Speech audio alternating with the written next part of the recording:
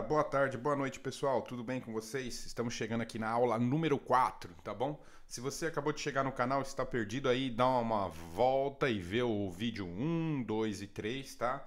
Ou então, se você estiver chegando aqui, tiver mais vídeo para frente, esteja vendo os próximos também. Essa aqui é uma parte teórica, tá? Que eu estou falando do que é o Forex, as suas curiosidades, esse câmbio de moeda, essas moedas, tá bom? Para quem é indicado esse vídeo, essa primeira etapa do canal é para iniciantes do mercado, conhecimento em geral para quem quer adquirir, para qualquer pessoa de qualquer idade que sabe ou não sabe mexer com computador, sabe ou não sabe o que é a bolsa, sem nenhum conhecimento, tá? Porque eu acredito que juntos somos melhor.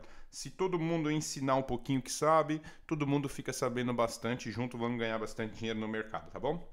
Bom, o objetivo é nivelar o conhecimento de todos. Eu vou estar tá falando isso sempre até acabar a parte teórica, tá? Depois que eu acabar, não vou mais falar isso. Mas o objetivo aqui do meu canal e dessas primeiras aulinhas é a gente nivelar o nível dos meus amigos e depois a gente tá passando para uma parte mais mais difícil que é estar tá operando mais profissional, mais objetiva, mais na prática, tá bom? Mas eu quero praticamente passar o meu conhecimento, que não é muito, mas para todos os meus amigos. Eu ia passar pessoalmente só para alguns, mas eu vou pôr no YouTube, todo mundo fica vendo e vamos ver o que acontece. Um abraço, você tá, vamos lá. Aula número 4, índice da aula número 4. Nesse vídeo eu vou mostrar umas curiosidades para vocês é, do tamanho da força do mercado de Forex, tá bom? Curiosidades, quais são? Primeira, é, quantos carros você poderia comprar no mundo com dinheiro que é negociado por dia?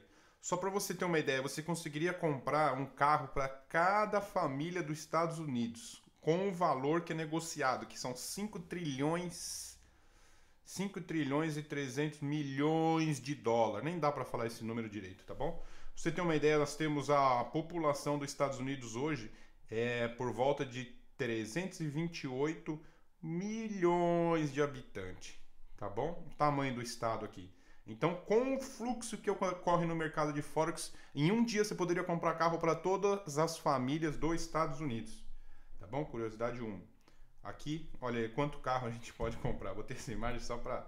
Bom, outra curiosidade: o Reino Unido é o maior, a maior força do mercado de câmbio do mundo, tá? Você acha que é os Estados Unidos, mas não é. Para você ter uma ideia, o Reino Unido, a Inglaterra, a rainha tem 41% de todas as moedas que são operadas no mercado diariamente. Os Estados Unidos vem logo atrás com 19%. Eu fiz um gráficozinho para a gente estar tá podendo entender. E na sequência, o restante do mundo, o resto. tá bom?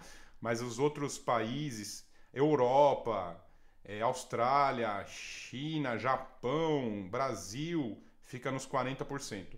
41% é todo do Reino Unido, tá bom? Bom, como eu já falei anteriormente no vídeo atrás, se você não viu, dá uma checada. É, essa moeda GBP USD, que é de libra esterlina para dólar americano, é conhecida como cabo, uma das moedas mais fortes. Por quê? Em 1858, os caras fizeram um cabo com um telégrafo e ficavam operando a bolsa um contra o outro. Eles operavam por telégrafo há muitos anos atrás. Olha, 1858, muito, muito tempo atrás. Nem vou fazer a conta para não passar vergonha. Mas essa é uma curiosidade porque essa moeda é conhecida como cabo e a mais forte até hoje. Bom, o maior, o maior jogador, o maior player que investe na, no Forex hoje é esse banco aqui, Deutsche Bank.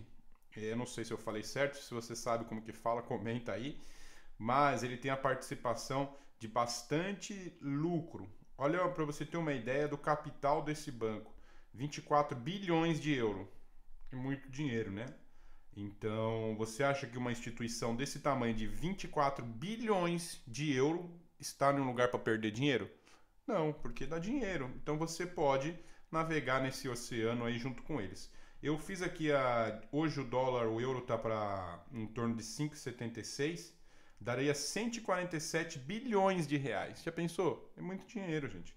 Então, essa empresa tem por volta de 80% do mercado. Você acha que ela entra em um lugar para perder dinheiro? Não. Então vamos seguir os bons e ser um deles. Tá bom? Vamos lá. Em 1908, os bancos americanos podiam imprimir o seu próprio dinheiro. Essa é uma nota que, os, que, o, que eles faziam, tá? E aí, com a reserva, quando surgiu, o pessoal começou com a política fiscal, as bolsas, o pessoal começou a fiscalizar isso aí e começou a ter um controle para não emitir tanto dinheiro. Então, o Forex entra nessa nessa parte para poder estar tá negociando dinheiro, negociar o valor para não sair emitindo dinheiro doidado aí pro pessoal, tá? Vamos lá, troca de moedas. É, você pensa que é um mercado novo, né? Mas não é. Essa troca de moeda vem no tempo da Bíblia, muito tempo antes de Cristo. Em Cristo a gente tem um exemplo clássico que eu acho que todo mundo já ouviu, independente da religião. Judas traiu Jesus por 30 moedas de pratas. Então, as moedas já são relatadas na Bíblia. E nessa época já os romanos, os egípcios, a galera toda aqui já negociava moeda e preço, comprava e vendia coisa com a moeda. Então, esse não é um mercado tão velho, só está aprimorado, tá? Essas são as curiosidades que eu estou falando. Essa daqui é muito interessante que no começo eu não entendia, que eu vejo bastante conteúdo americano. Então, o pessoal falava, ah, o mercado de touro, o touro vai trabalhar. Eu não entendi o que, que era, né? Eu fui pesquisar e estou trazendo para vocês para você não ter essa curiosidade. O que, que é o touro? O movimento do chifre do touro para cima, ele representa o movimento de alta do mercado. Então, quando o pessoal fala, ah, eu trabalho com, eu gosto do touro, porque ele gosta de trabalhar na sequência de alta do mercado, tá bom? Agora, se você fala, não, eu sou, eu trabalho com urso, eu prefiro urso, o que, que é? é a, o movimento de queda do mercado. Então o urso dá a patada para baixo e aí o mercado cai. Aí você vê as linhazinhas vermelhas descendo. O touro, quando dá o chifre para cima, o mercado sobe. Então por isso que é conhecido de touro e urso, de urso, tá? Touro, movimento de alta e o urso, movimento de queda. Tá bom? Esse foi um videozinho rápido para a gente estar tá terminando essa coletânea, para você estar tá se contextualizando no que é o Forex, tá? É, essa aula aqui tá errada, é número aula 4.